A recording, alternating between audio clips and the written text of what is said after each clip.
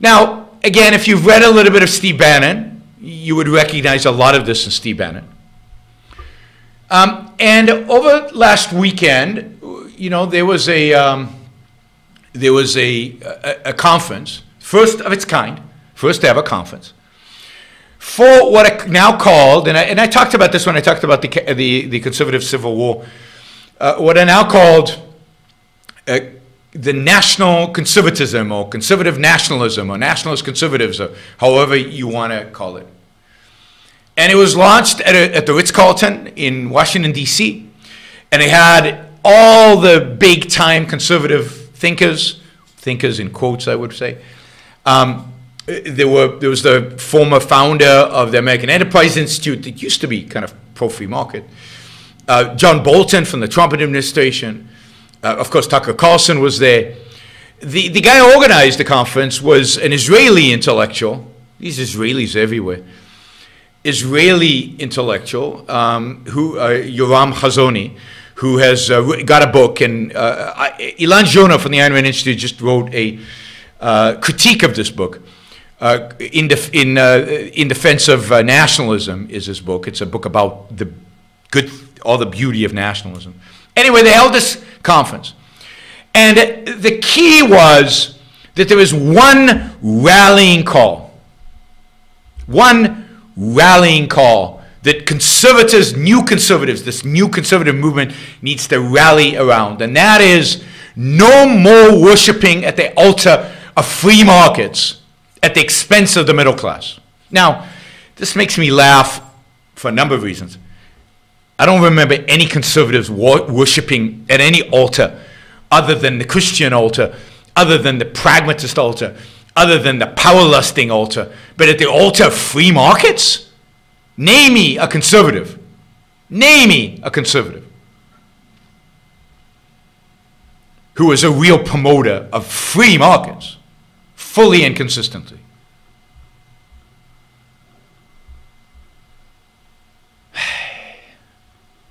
But even that mild defense of free markets the conservatives engaged in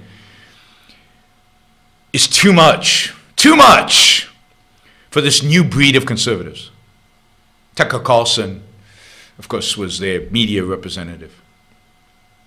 Of course, that's one rallying cry. The other one is no more endless wars dedicated to slaying perceived monsters overseas. Perceived. Osama bin Laden, ISIS, you know, I don't know, uh, Al Qaeda, only perceived monsters. No more shame about saluting the flag, defending borders, and demanding assimilation. So, abandon free markets, rile up the nationalism, build a wall, worship the flag, and stop intervening in wars overseas. But crucially, forget about this free market stuff. We have to defend American, American capital A, big letters, American interests, whatever those are. We have to save American jobs. We have to bring manufacturing back to America.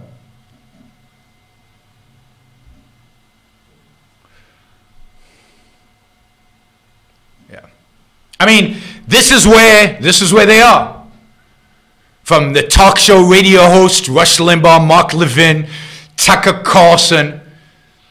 They are anti markets, anti founding fathers, anti individual rights, anti individual liberty. They are anti everything that at least some conservatives in the past believed in, or at least said they believed in, even though they couldn't defend it. They are the negation of America. They are the stabbing in the back of everything that is America. They are no different than Elizabeth Warren and AOC. They are un American. And they're idiots on top of that because they have no basis for these arguments. They have no basis for these arguments. And they don't understand economics. And of course, they're nativists. They're real nativists. Ah, thank you. It's, was getting hot. I'm thanking somebody for reminding me to take my headphones off.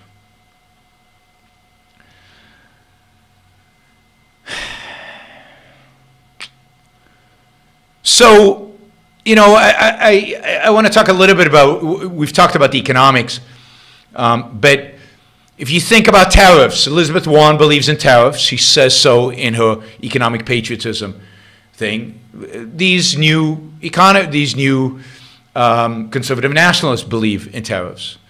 Elizabeth Warren wants to promote manufacturing jobs in the United States and economic, uh, you know, promote companies that, that produce in America. So do the economic nationalists. Elizabeth Warren wants to do everything she can to help the so-called middle class. So did economic nationalists. I mean, as I said, no more worshiping at the altar of the free market at the expense of the middle class. The GOP today, or these nationalists at least, are pro manipulate using the tax code to favor their kind of businesses at the expense of others. They're pro using tariffs, which is a tax, to protect some businesses at the expense of others. And of course, they're massively, all of them across the entire board, are pro using regulations to attack business, profit, Wall Street, finance, anything that they deem as globalist, internationalist, as not consistent with their vision, their narrow vision of what America should look like.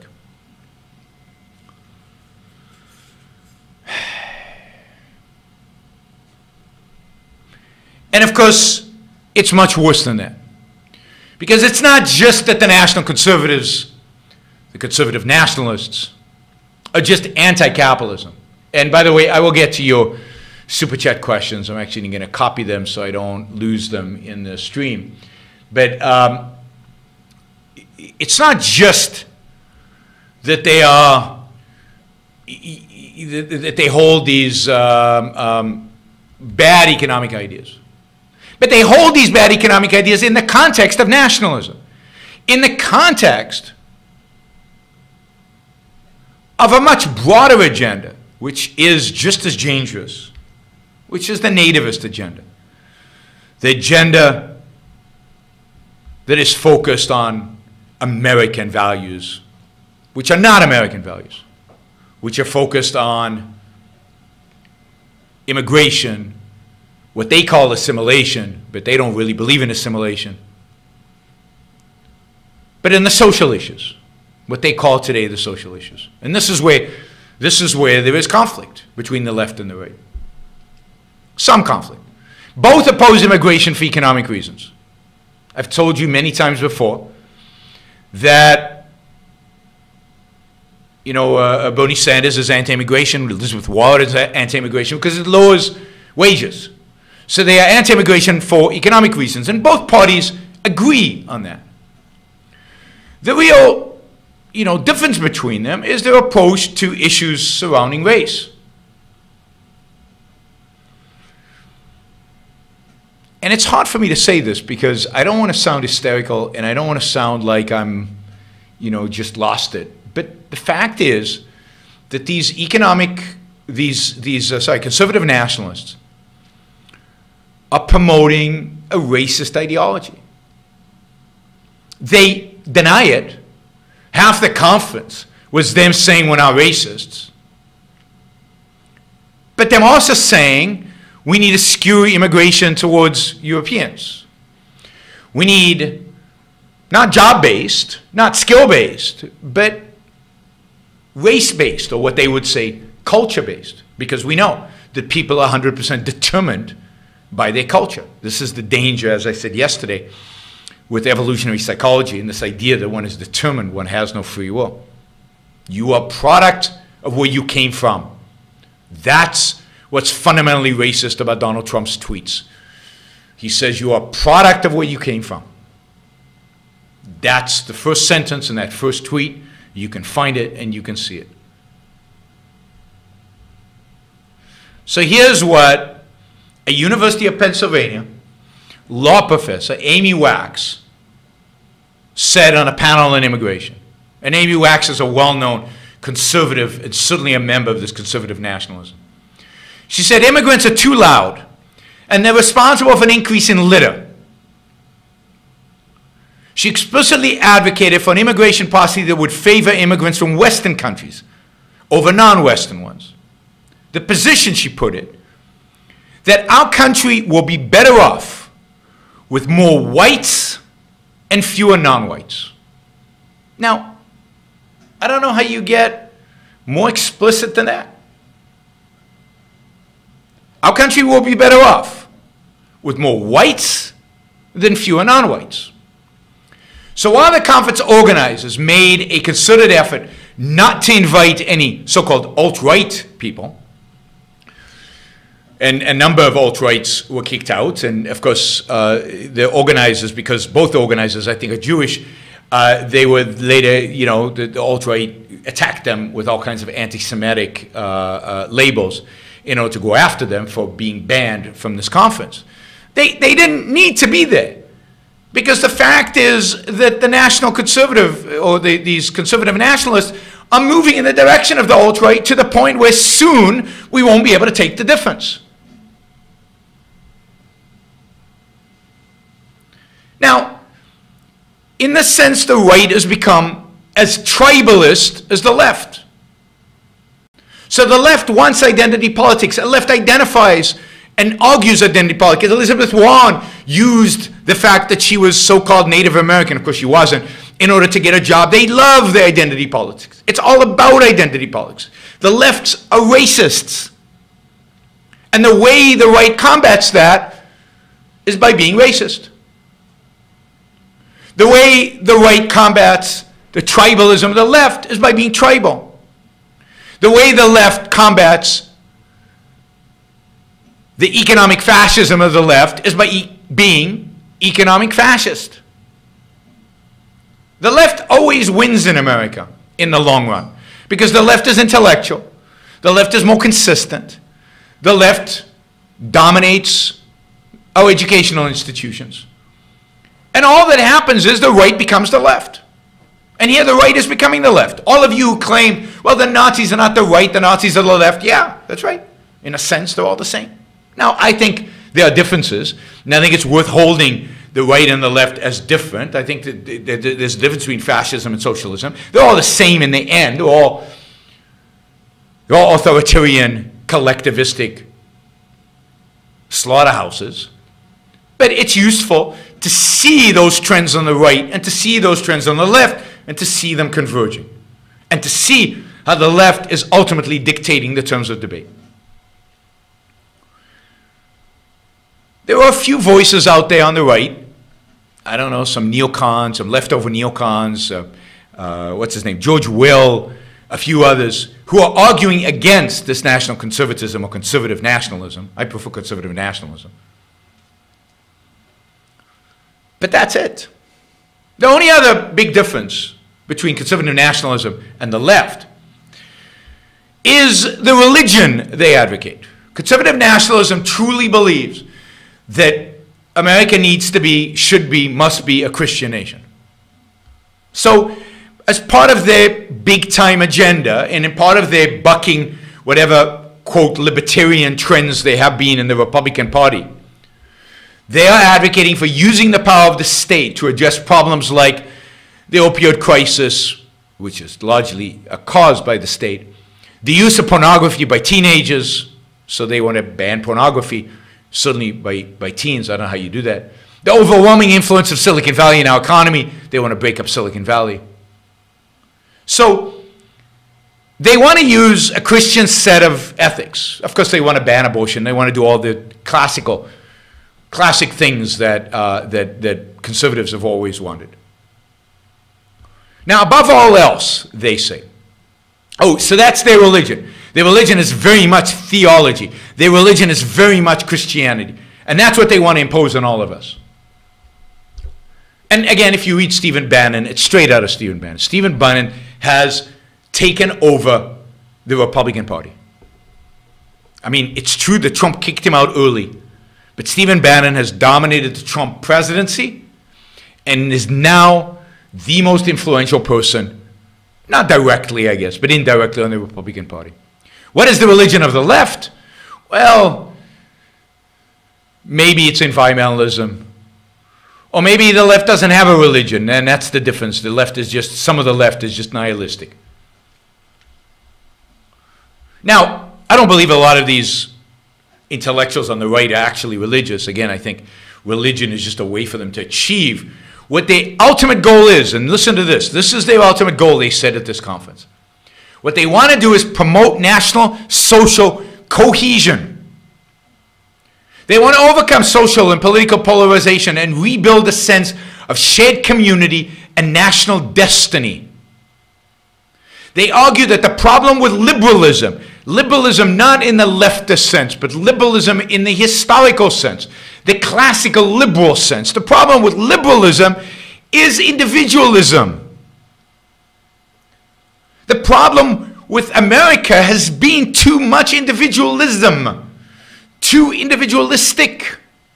What we need, what we need, is there a, is more collectivism more community, more national destiny.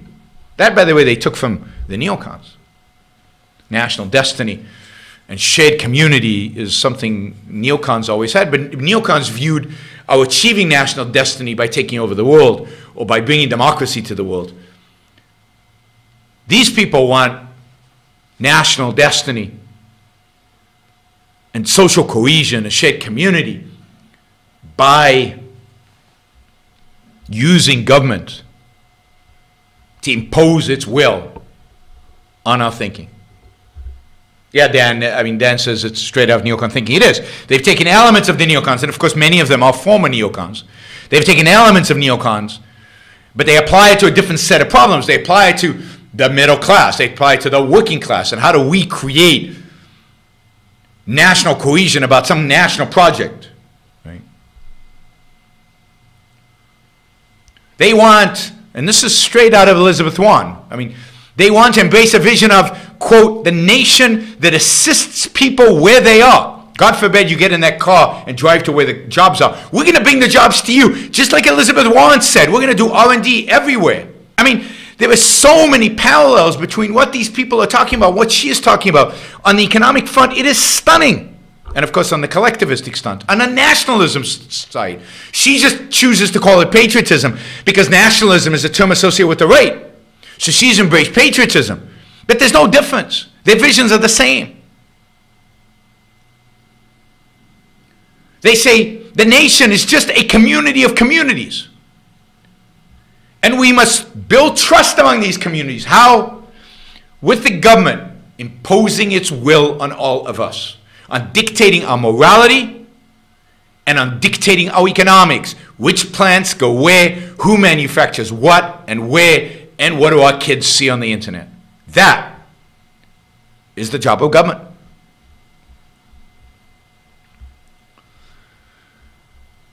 Now, look, I've always, this has always been in the background of the right. This has always been there. But it is so much more explicit. It is so much more explicit. And the similarities between left and right are so much more evident today. And as the left has become more, more leftist, moved further out to the left, the right just follows them right there.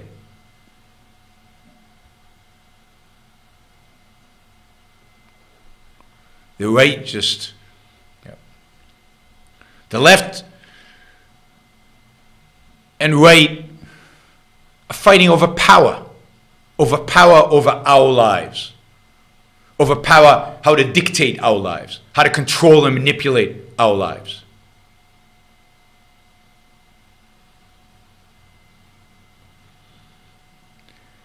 That's it. The differences are negligible, are insignificant when it comes to these kind of policies. Now, it's true. On the right, there's more opposition to this.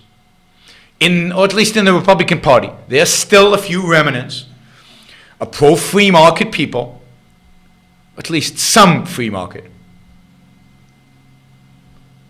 that are resisting some of these economic policies. How long do they have? How long will they survive? How long will they be successful if America embraces these views. Not very long. In the long run, we are doomed, and it doesn't matter who wins, left or right. I know some of you would rather live under Nazi Germany than communist under the Soviet Union. I don't want either one of them, and I view them as equal evils. Some of you would rather live under a Christian theocracy than under leftist socialist rule. I don't want either one of them. I think we should fight both of them to the death. Give me liberty or give me death is real. It's a slogan nobody understands, certainly not any of these people we're quoting. But it's it means something. It means something. And what we face today is not death. And you've already caved. So many of you have already caved. You've already given in. Oh, the left is so bad. I'm going to embrace these wonderful people on the right because they at least love America. They don't have a clue what America is.